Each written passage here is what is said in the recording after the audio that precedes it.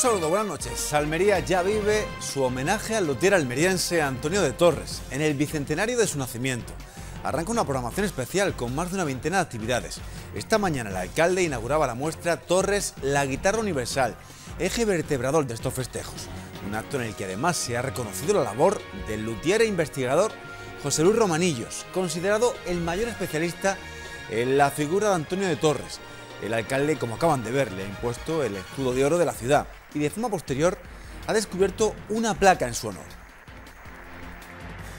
Vamos a rendir un merecido homenaje con la imposición del escudo de oro de nuestra ciudad al violero José Luis Romanillo, considerado el mayor especialista en torres, pues suya es la monografía más consultada y reconocida del almeriense.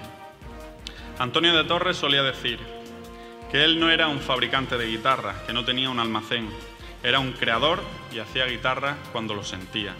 Porque al fin de 40 años de trabajo he visto el nombre de Torres y un museo en Almería. Esto para mí me tengo que calmar poquito a poco, porque la verdad es un sueño del que mi esposa y yo hemos soñado, trabajado. Y Guardia Civil y Policía Nacional han desarticulado de manera conjunta una organización criminal especializada en el robo de establecimientos. La operación Robaudi Baviera ha permitido detener a la totalidad de los miembros de esta banda que centraba su actividad en robos con fuerza y violencia en las provincias de Almería, Granada y Murcia. En total llegaron a cometer 57 hechos delictivos, unidos a la sustracción de 8 vehículos.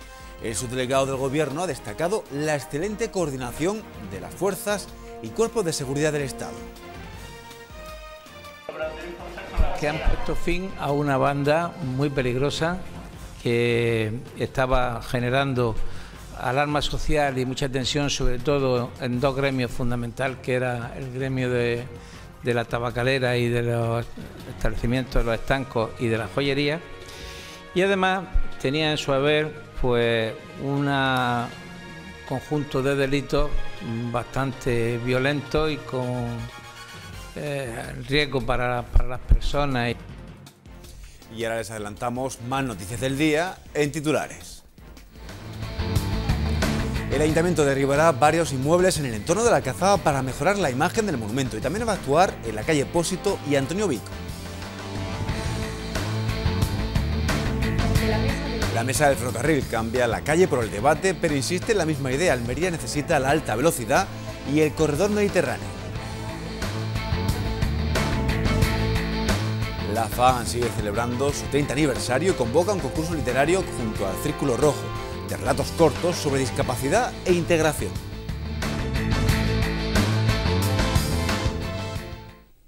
Finalizada la temporada con la permanencia de la Unión Deportiva Almería, el siguiente paso es la toma de decisiones para planificar un proyecto deportivo con mejores expectativas.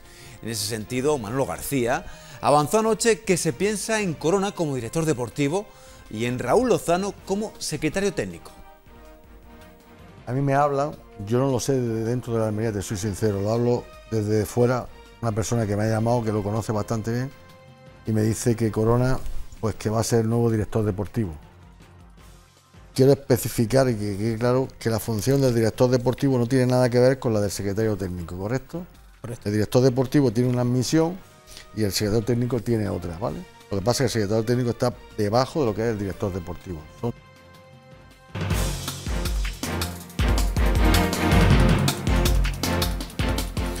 El alcalde de la capital almeriense ha inaugurado hoy la exposición Torres, la guitarra universal, eje central de las más de 20 actividades que el ayuntamiento ha preparado para conmemorar el bicentenario del nacimiento del genial luthier almeriense. Decir Antonio de Torres es hablar del maestro de la guitarra española. Nuestro almeriense más ilustre nació hace ahora 200 años y desde el ayuntamiento han organizado más de una veintena de actividades para conmemorarlo, como esta exposición que ha conseguido reunir a 10 guitarras de Antonio de Torres y además otros dos instrumentos que hasta ahora no se sabía de su existencia. Que ha aparecido una bandurria y una guitarra pequeña de niño o un guitarrillo de Antonio de Torres eh, que no existían antes. Además, hoy se ha rendido un especial homenaje al luthier José Luis Romanillos, considerado el mayor especialista en estudiar la figura de Antonio de Torres.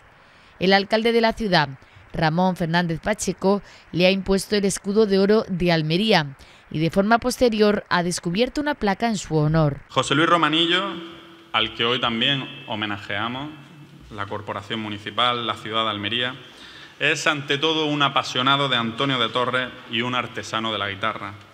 Esa pasión y ese amor a la guitarra hicieron que pronto sintiera la necesidad de profundizar en la vida y obra del almeriense, hasta convertirse en el mayor experto de nuestro cañaero más ilustre.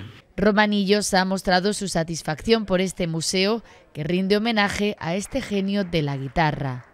Porque al fin de 40 años de trabajo he visto el nombre de Torres y un museo en Almería. Esto para mí me tengo que calmar poquito a poco, porque la verdad es un sueño del que mi esposa y yo hemos soñado, trabajado.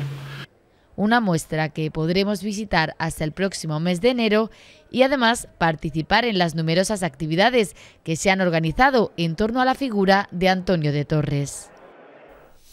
Precisamente ayer tarde arrancaba el homenaje a Antonio de Torres en el bicentenario de su nacimiento, puesto en marcha por el área de cultura del ayuntamiento con una jornada de estudio en la que participaban Joan Pellisa, Marian Harris y sobre todo José Luis Romanillos, considerado el mejor luthier del mundo y un gran estudioso de la figura del guitarrero de la cañada. De hecho, durante esta charla eh, se relató cómo arrancó su investigación y cómo fueron sus primeros viajes a Almería en busca de las huellas de Torres. Descubrir a Torres y buscar la mejor, el mejor museo de instrumento de música que hay, que es la guitarra española, pues hemos disfrutado trabajando 40 años y hemos conseguido conservarnos jóvenes y hacer algo que creo que el público lo va a agradecer mucho. Construir una guitarra no es un ártico eh, diríamos, de cocina. Es una obra de arte y sobre todo la española. Vamos con otro asunto. La Junta de Gobierno Local ha aprobado por un importe de 8.000 euros una ayuda para los amigos del Sáhara. Además, ha salido adelante un proyecto de renovación de infraestructuras para la Avenida del Mediterráneo, su tramo comprendido entre carretera de Níjar y la rotonda de Padre Méndez. Además, se ha aprobado el servicio de mantenimiento para el repintado de pasos de peatones y un contrato también de mantenimiento y de trabajos menores para los centros de educación infantil y primaria, por un valor de 108.000 euros. Las competencias para el mantenimiento de los colegios, no para la reposición de la infraestructura, pero sí para el mantenimiento corresponde a este ayuntamiento, se suele ir haciendo habitualmente, de hecho nosotros este año tenemos una partida de 300.000 euros y gran parte de esa partida se ha gastado en, contratos puntuales, pero lo que hacemos es sacar un contrato, en este caso eh, un lote de, actuaciones integrales por valor de 108.000 euros, con lo que vamos a hacer eh, de aquí a, a inicio de curso, la idea es que podamos hacer ese contrato y podamos hacer actuaciones en la, gran, mm, en la mayor parte de los colegios. Por otro lado, el portavoz del equipo de gobierno también ha explicado cómo va a ser la actuación en el entorno de la Alcazaba para embellecer esta zona. Miguel Ángel Castellón, concejal de Desarrollo Urbano, ha explicado que están expropiando diferentes inmuebles para derribarlos en las inmediaciones de la Alcazaba y así poder tener una vista despejada desde la ciudad hacia nuestro monumento histórico más visitado. Castellón ha detallado también la urbanización que van a realizar en la calle Pósito y que llegará hasta la calle Antonio Vico. Antes de final de año queremos licitar tres actuaciones en el entorno de Alcazaba. Calle Pósito, 100% eh, eh, pagado por el ayuntamiento. Queremos licitar el entorno de, la parte exterior de la joya y, su prolongación hasta la calle Almanzor y queremos tener hechas todas las expropiaciones para poder licitar cuanto antes eh, la urbanización de la, de la, zona de la calle Almanzor. Y además hemos metido en los proyectos DUSI, los, proyectos que han sido financiados con fondos europeos eh, por el Ministerio de Hacienda, hemos metido otros dos millones y medio de euros también para el entorno de la Alcazaba, con la idea, con la idea de hacer algunas actuaciones, pero sobre todo de centrarlas en la zona de la olla, en la zona, entre la zona de la joya y, toda la calle Almanzor hacia allá. Todas estas actuaciones pretenden mejorar el entorno de la Alcazaba, así como la zona de la joya. El edil popular espera que a finales de año pueda haber obras en toda esta área de la ciudad. Como ya hiciera el 1 de junio, el PSOE, hoy Ciudadanos Almería, ha lamentado que en las playas no haya pasarelas, socorristas ni balizamiento e insta al alcalde a que sus concejales cumplan con el acuerdo de presupuestos y con los almerienses. Rafael Burgo se ha desplazado hasta la playa del Palmeral junto al presidente de la FAN, Valentín Sola, para denunciar la incapacidad de gestión en la puesta a punto del litoral. Por otro lado, han criticado que cada año se repiten estos retrasos playas carecen de socorristas, carecen de pasarelas, el punto accesible para un colectivo tan importante como el, el, colectivo de la discapacidad no tiene acceso al disfrute de la playa, con lo que esto supone, o sea, no es solamente ya las personas que tienen todos los medios para acceder a la playa, sino también los que no lo tienen y tienen mm, habilidades diferentes y que tienen derecho a, disfrutar de, la maravillosa, el maravilloso clima que tenemos, que ya empieza a ser eh, de excesivo calor, y disfrutar de la playa, pues pueden, no pueden hacerlo.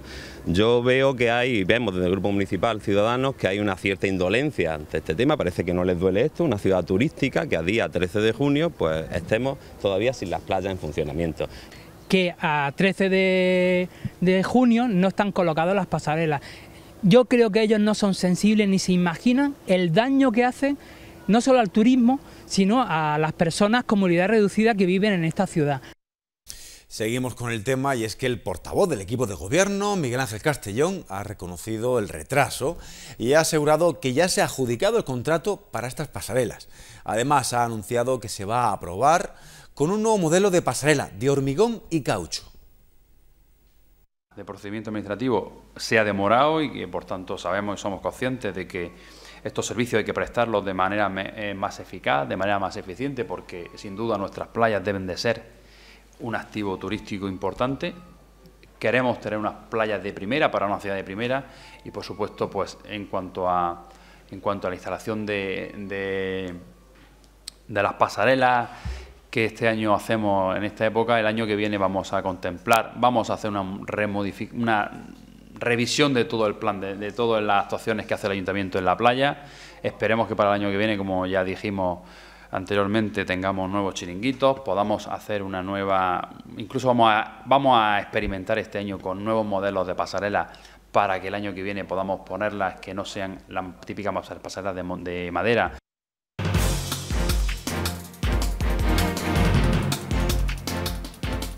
El trabajo conjunto de la Guardia Civil y la Policía Nacional ha permitido desarticular una organización criminal especializada en robos a establecimientos. La operación Robaudi Baviera ha finalizado con la totalidad de sus componentes, lo de esta banda, en la cárcel. En un tiempo récord, Policía Nacional y Guardia Civil han desarticulado de manera conjunta una organización criminal especializada en el robo a establecimientos.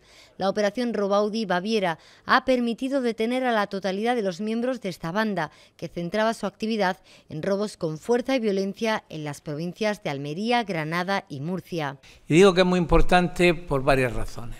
En primer lugar, porque han puesto fin a una banda muy peligrosa que estaba generando alarma social y mucha tensión, sobre todo en dos gremios fundamentales, que era el gremio de, la tabacalera y de los establecimientos de los estancos y de la joyería. Y además tenía en su haber pues un conjunto de delitos bastante violentos y con eh, riesgo para, para las personas. Tanto el comisario jefe Adolfo Castaño como el comandante de la Guardia Civil de Almería, Manuel Ruiz, han destacado los pormenores de esta operación, así como el modus operandi de esta organización criminal. Una jerarquía, es decir, cada este grupo estaba formado, pues eran siete componentes, de los cuales en la estructura que tenían era, había un jefe, un lugarteniente que, y después eran cinco, cinco, bueno, cinco eh, trabajadores que trabajan para ellos, que, en este caso eran sus sobrinos.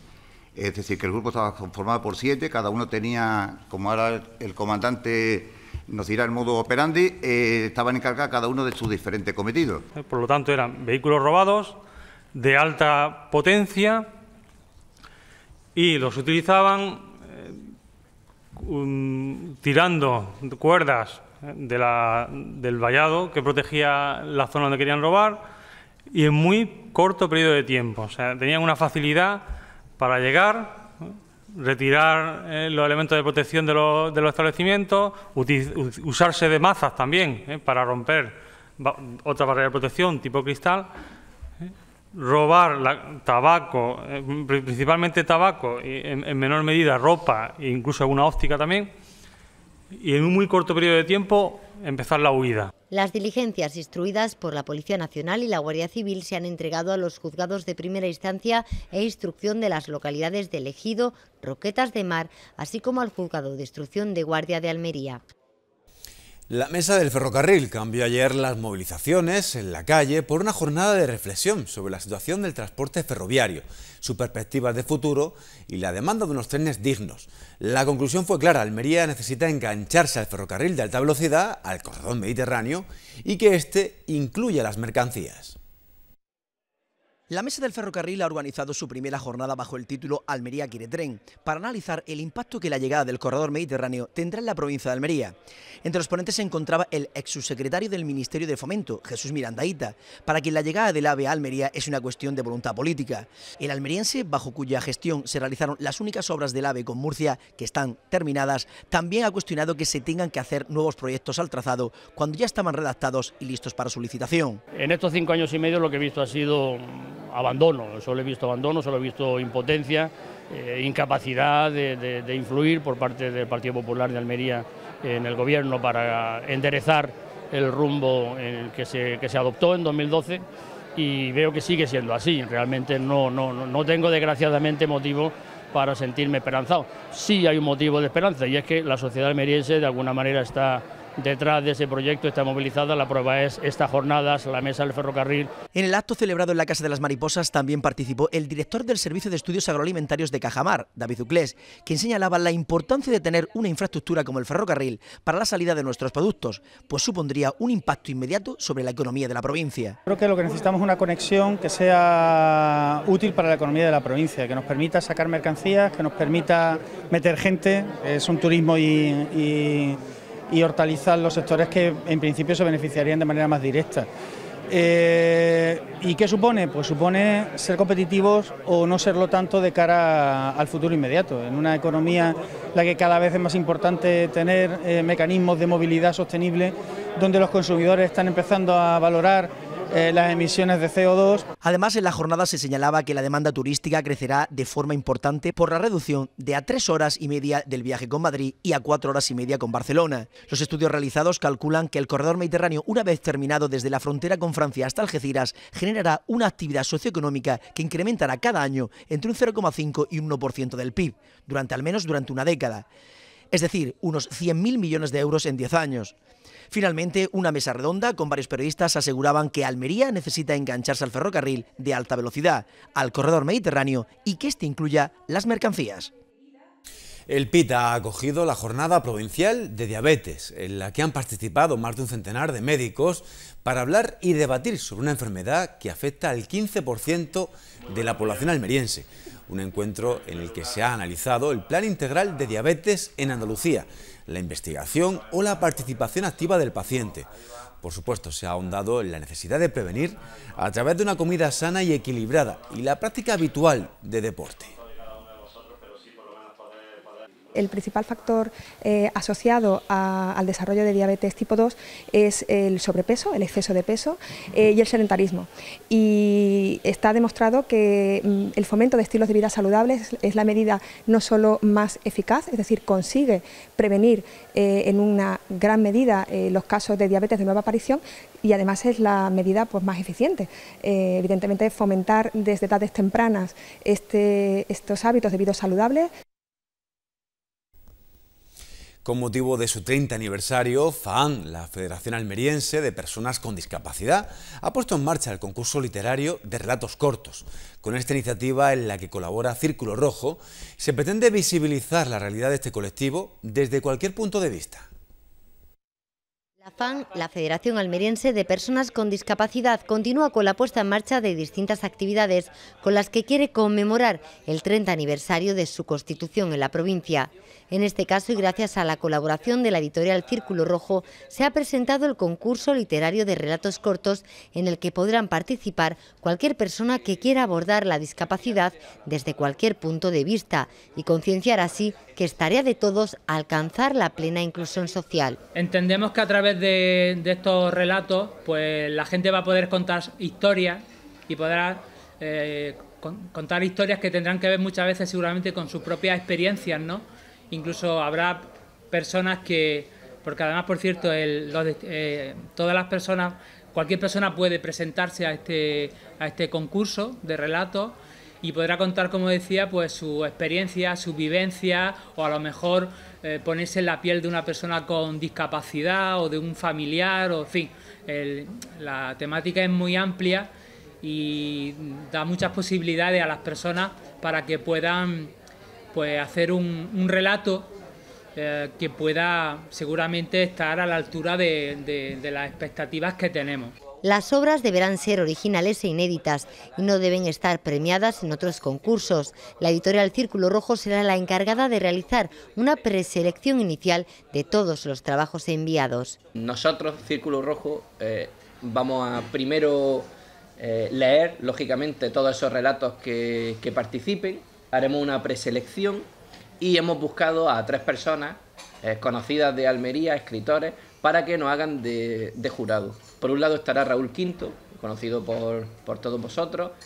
Eh, por otro lado el doctor Antonio Ríos Luna, que además es una persona cuyos libros, los libros que publica siempre están destinados a, una buena causa y por supuesto no ha, no ha dudado en participar y se lo, y se lo agradezco mucho. Y el tercer miembro del jurado va a ser Jesús Muñoz, otro, otro escritor de Almería, especializado en relatos. El primer premio alcanzará los 1.000 euros junto a la edición de un libro compuesto como mínimo por 15 relatos, entre los que figurarán tanto los ganadores como los seleccionados por el jurado para su publicación. Y les hablamos ahora de cine con la noticia que hoy desvela La Voz de Almería. El mítico director Brian De Palma rodaría parte de su nuevo largometraje en nuestra provincia. Se trata de Domino, un thriller de acción, coproducción entre Dinamarca, Bélgica y España con Antonio Pérez de la productora sevillana Maestranza Films. El cineasta que hizo posible El precio del poder o Los intocables de Leon Ness llegaría a Almería con los protagonistas de este último trabajo, dos actores más que conocidos en el mundo de las series. Hablamos de Nicolás Coster-Baldau, más conocido como Jamie en Juego de Tronos, y Cristina Hendricks, o si le es más fácil reconocerla, Joan Harris en Mad Men. Ellos interpretarán a dos policías que viajarán desde Dinamarca a España tras un criminal de origen árabe.